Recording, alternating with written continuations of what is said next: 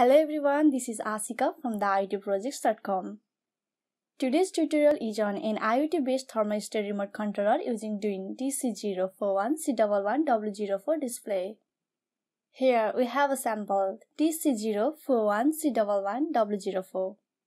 The first letter T means IoT production line code. C means capacitive touch panel. 041 means 4.1 inch display size. C means commercial grade. 1 means a resolution of a 4 inch display that is 480 by 480 pixels. Another one means hardware version with weight nodes relay control. W means Wi-Fi as a communication method. Lastly, 04 means control output node supported by this controller. It has a built-in speaker, temperature sensor, and ESP8266 Wi-Fi module for IoT applications. Here you can see this thermostat controller has 11 pins on its back panel. Pin 1B and pin 2E are for RS485- and RS485 plus interface. Pin 3 YANC is not a defined pin. Pin 4 is normally open AC output. Pin 5 is normally closed AC output. Pin 6, 7 and 8 are low, medium and high AC output pins respectively. Pin 9 is a neutral negative power input pin. Pin 10 is YANC not defined pin. Finally, pin 11 is phase positive power input pin. The working voltage of this controller is 220 volt AC. This video is sponsored by PCBWay.com. PCBWay.com is a one-step solution for all your PCB needs like PCB prototyping, assembly stencils, PCB assembly, etc. Currently, they are offering 10 pieces of two-layer PCB at just $5. PCBWay provides high quality material TG 150 to 160 but gives the same price with TG 130 to 140. They also have a free sign up bonus for new users. So get your first prototype PCB ready from PCBWay.com. The link is in the description below.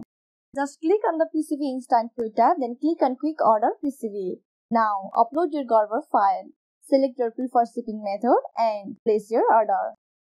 Now, let's quickly disassemble its part to see the hardware parts of this LCD. Here, we can see a small temperature sensor, ESP8266 Wi-Fi module, SD card slot, small speaker, T5L0ASIC ASIC interface, LCM interface, and RS485 interface.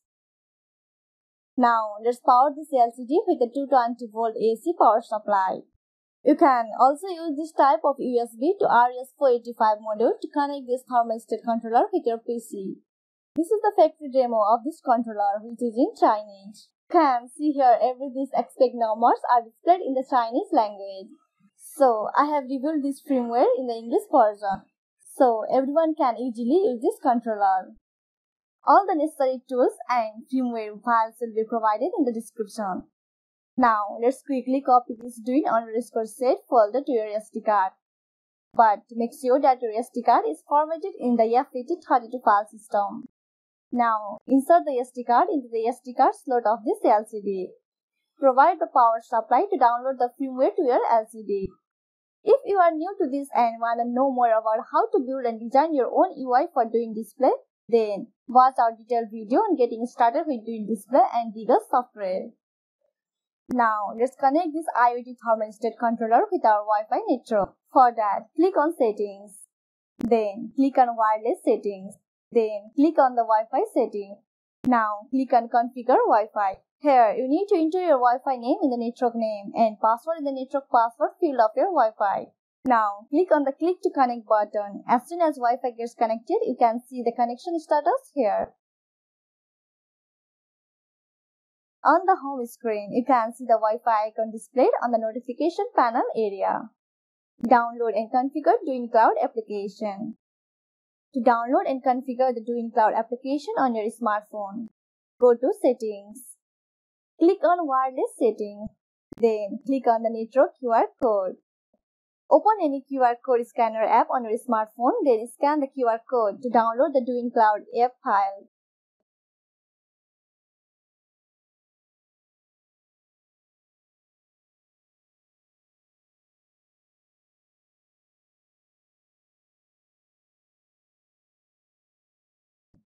Now install the download APK file on your smartphone. From here, you can select your language. Here, I am choosing English. You can quickly sign up with your Gmail account and then sign in to get into the DwinCloud dashboard. Here, you need to add your device to this DwinCloud dashboard. Click on the plus icon in the upper left corner, then select the scan code option. Then, scan your device QR code to add your device.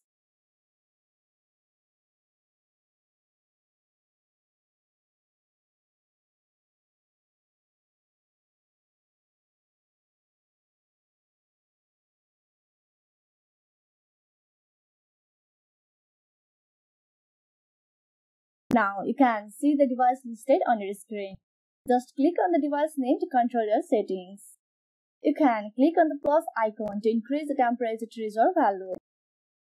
Similarly, click on the minus icon to decrease the value. You can also adjust these values from LCD by clicking on the setup icon. Select your cold, hot and wind mode from the application as well as from the LCD screen by tapping on modes. Then it allows you to set the wind speed according to your needs from the Cloud app as well as the Dwin LCD display. You can configure your own timing settings, time interval settings, etc.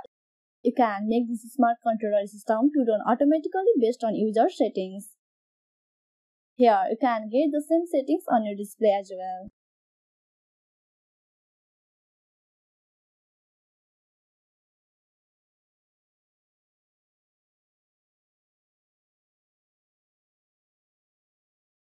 You can change screensaver images from this setting. The best part of this cloud platform is you can send messages to your device and control its setting remotely from anywhere in the world. As soon as you send the message, you can see your message icon in the notification area. Just click on it to see your message received.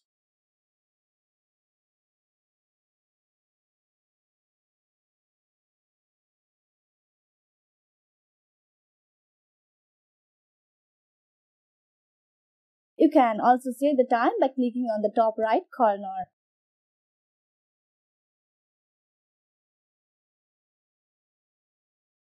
You can change the screen brightness from its setting. This screen has a brightness up to 50 nits, which is also quite impressive.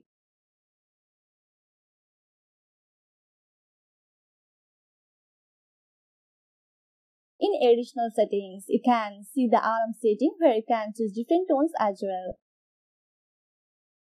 Here you can see the screensaver settings. You can choose three different modes, temperature, photo, and clock. You can start the screensaver after 1 minute of an ideal screen or 5 minutes. If you made some mistakes on your setting, you can restore setting to your factory default from here. The device connected to the DwinCloud is also connected to the Smart Voice Assistant platform, which can quickly realize smart voice control. So, this is an intelligent temperature control system. You can click on this close button on a smartphone to close the LCD display and again click on open to turn on the LCD. So that's all for today. Do subscribe and hit the like button so you don't miss any future content like this. It's me, Aashika, signing off for today. Catch you soon. Bye bye.